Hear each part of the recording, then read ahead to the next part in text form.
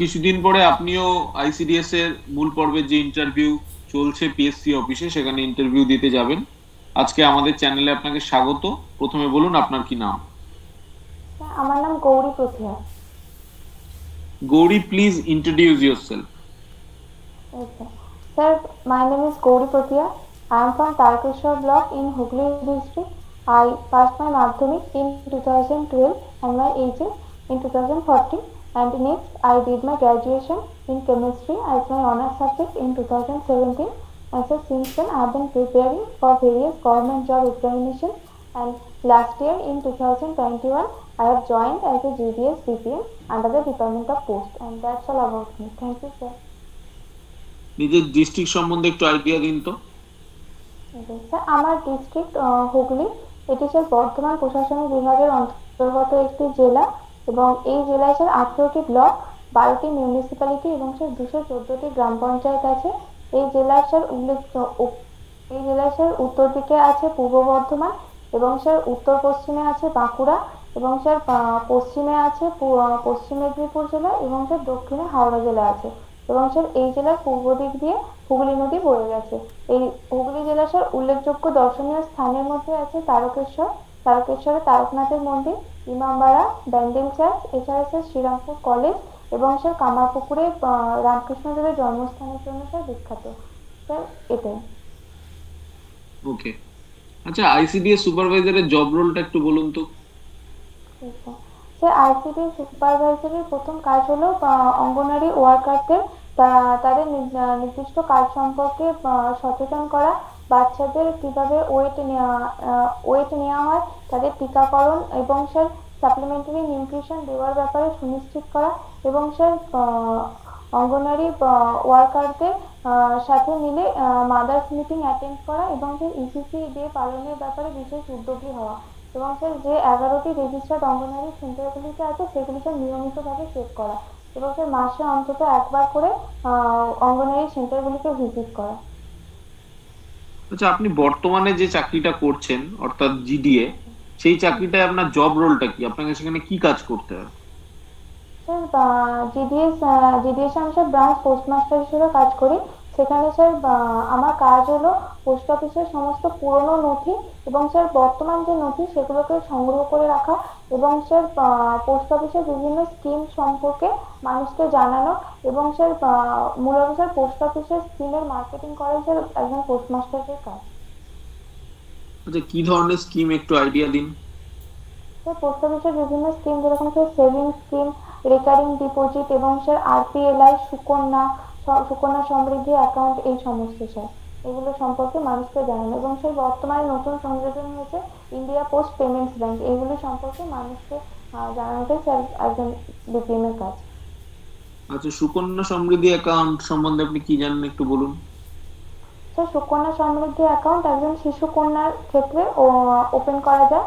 এবং স্যার শিশুর জন্মের থেকে শিশুকন্যার জন্ম থেকে দশ বছর বয়সের মধ্যে অ্যাকাউন্টটি ওপেন করতে হয়। এবং তাতে সে টাকা জমা দিতে পারবে চোদ্দ শিশুর কন্যার চোদ্দ বছর বয়স পর্যন্ত।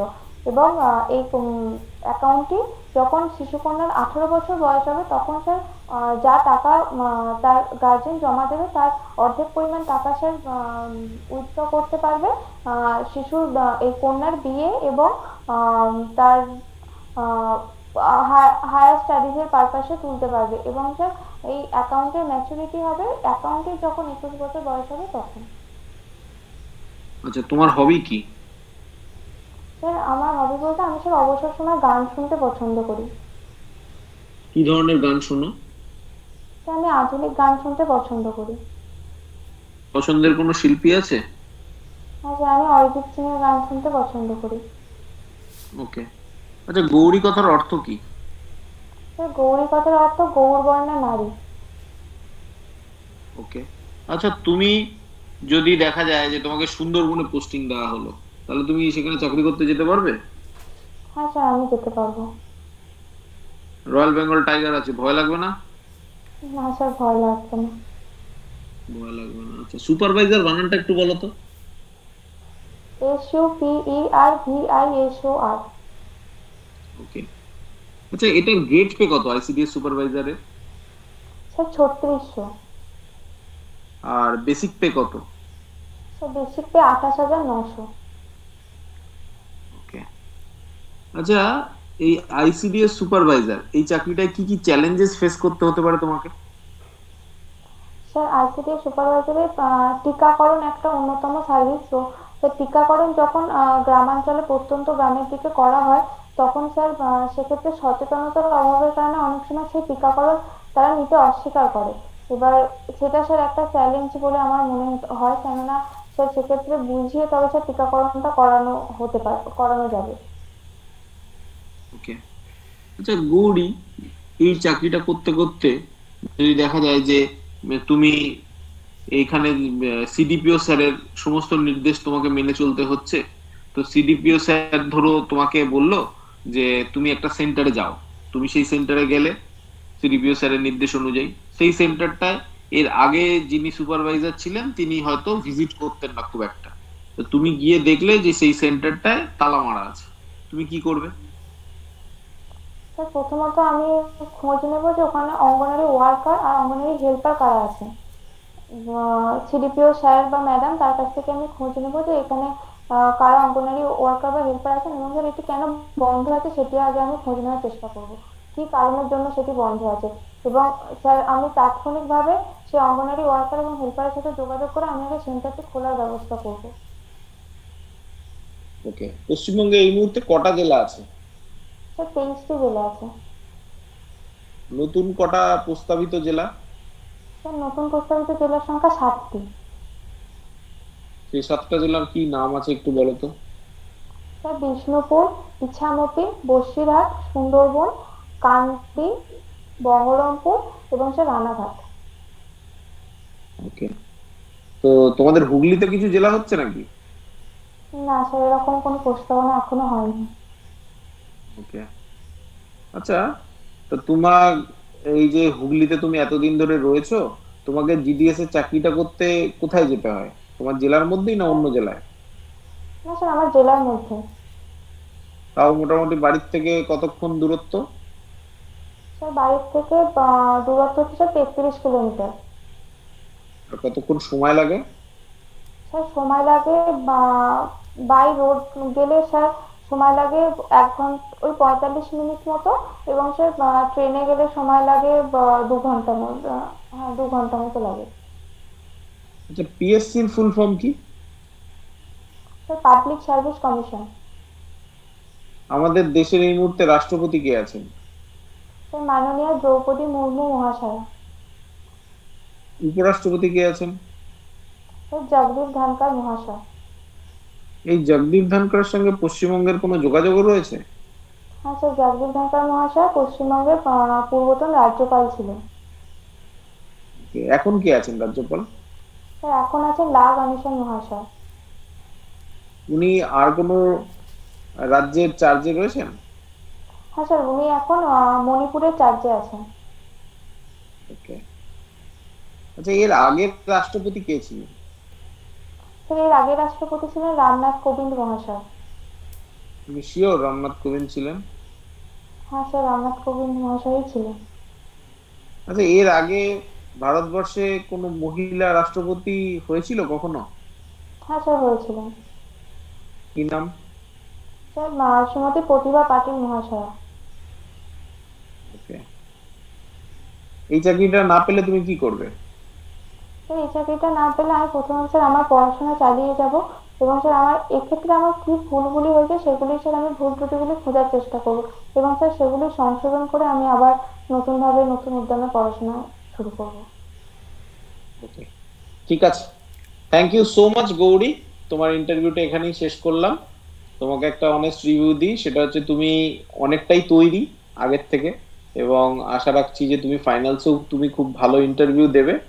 তোমার সেরকম সমস্যা এখন আর কিছু নেই, তবে প্রত্যেকটা দিন তো আলাদা হয়। ওখানে গিয়ে- গিয়েও যাতে তোমার এই রকমই পারফরমেন্স থাকে, সেটাই আশা রাখব। এবং যে কটা দিন আছে, সে কটা দিন যদি একটু পড়াশুনো করো, তাহলে আশা করি খুব ভালো ইন্টারভিউ দেবে। তুমি বলো অ্যাসপিরেন্স একাডেমির সঙ্গে তোমার কি অভিজ্ঞতা? স্যার, আমি অ্যাসপিরেন্স একাডেমিতে স্যার যুক্ত আছি আজকে এক বছর, এক মাস হলো। তো স্যার, আমি নিজেকে অনেকটা, আমি স্যার নিজের সম্বন্ধে অনেকটা অনেক কিছু জানতে পেরেছি এবং স্যার নিজের মধ্যে অনেকটা আমি কনফিডেন্স পেয়েছি অনেকটা নিজের প্রতি। এটা স্যার শুধুমাত্র অ্যাসপিরেন্টস একাডেমির জন্যই হয়েছে। যে কীভাবে ইন্টারভিউ এর জন্য পড়াশোনা করতে হবে কীভাবে নিজের অ্যাপ্রোচ ঠিক রাখতে হবে এগুলো শুধুমাত্র এখান থেকেই শেখা। এই যে দীর্ঘ তেরো মাস।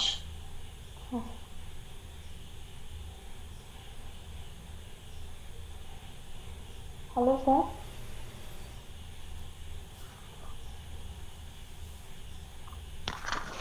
এই যে এক্সপিরিয়েন্স একাডেমিতে যে এক্সপিরিয়েন্স একাডেমিতে যে দীর্ঘ এতগুলো মাস। ঠিক আছে? তো এখানে নিশ্চয়ই তোমার অনেক বন্ধু হয়েছে বা অনেক কিছু শিখেছো বন্ধুদের কাছ থেকে সেরকম অভিজ্ঞতা কিছু বলো। স্যার আমি যখন স্যার ক্লাস যখন আমাদের হতো প্রত্যেক সপ্তাহে রবিবার করে তো স্যার আমি ওখান থেকে স্যার শিখেছি যে কতটুকু বলতে হবে। মানে জানি অনেক কিছু কিন্তু স্যার বলতে কতটুকু হবে এগুলো স্যার আমি ক্লাস থেকে আমার বিভিন্ন বান্ধবীদের কাছ থেকে আমি শিখেছি সেখানে। যে বলতে কতটুকু হবে নিজের অ্যাপ্রোচ কীভাবে ঠিক রাখতে হবে এগুলো স্যার আমার অনেকটাই আমার তাদের কাছ থেকে শেখা। ওকে আগামী দিনে কাউকে ইন্সপায়ার করবে এই আইসিডিএস সুপারভাইজারের পরীক্ষার প্রস্তুতির জন্য? হ্যাঁ স্যার অবশ্যই। এটা স্যার খুব ভালো একটা চাকরি আমার মতে। খুব ভালো জব স্কোপ আছে এখানে। তো স্যার, আমি যে কোনো মেয়ের এটা শুধুমাত্র স্যার মেয়েদের ক্ষেত্রেই তো প্রযোজ্য, তো স্যার যে কোনো মেয়ে যারা কম্পিটিটিভ প্রিপারেশন নেয়, আমি তাদের সবাইকে স্যার এটা আগে দেওয়ার জন্য সাজেস্ট করব। হ্যাঁ এবং গ্রুপে নিশ্চয়ই যতদিন তুমি রয়েছো, দেখেছ যে পঁচিশে জুলাই থেকে এই একত্রিশে আগস্টের ফার্স্ট ফেজে প্রত্যেক দিনই আমাদের প্রচুর ক্যান্ডিডেট ছিল। মানে সাতজন, আটজন, কখনো চারজন, পাঁচজন।